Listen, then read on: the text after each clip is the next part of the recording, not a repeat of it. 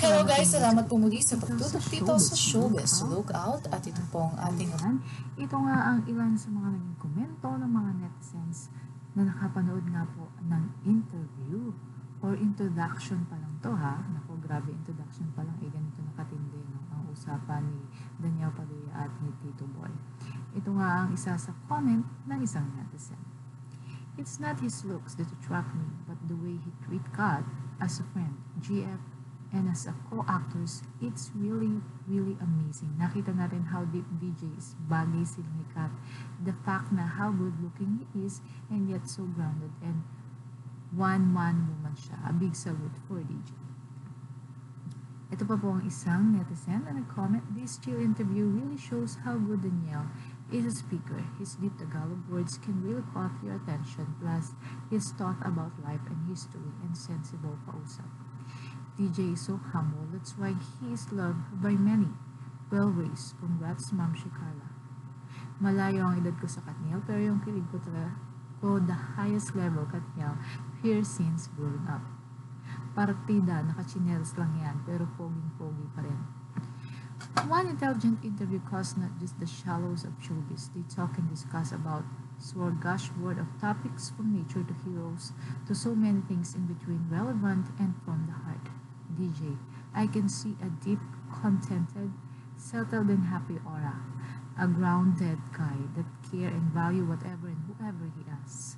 He said before that he is an ignored person, but very glad that he found Kat who accepted and ride along with his trips and who he is as a person. Tito Boy TGI's guesting would be nice and let's see how the Catherine will roast you and with Q&A and DJ as director if possible. Bless. I am Katnia fan from Indonesia. Every day I always monitor of development. Love Kat and DJ in IG and YouTube. Love Katnia. Galing makipag-talk si DJ kay Kuya Boy. May sense kausap. Kaya lang bitin may edit pa yata. Mga tanong ni Kuya Boy.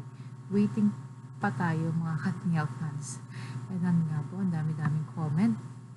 Versatile pala si Daniel kasi kahit anong topic kaya niya makipagtalakan. Malawak ang pag-iisip. Proud for you, Daniel. Good converso- conversationalist. Sobrang simple lang talaga ni DJ. Ang lakas ng dating grabe. Daniel Padilla, low-key, advertising our own local products. Just look how proud he is to local artist. Ayan nga, no, talagang, uh, itong si Daniel talagang, gano'n na lang niya, ah, i-promote ano ang ating mga local products. Kaya naman nakakatuwa dahil syempre uh, tinatangkilik niya ang sarili natin na isa yun sa mga bagay na dapat natin gawin. Tangkiligin natin ang sarili natin.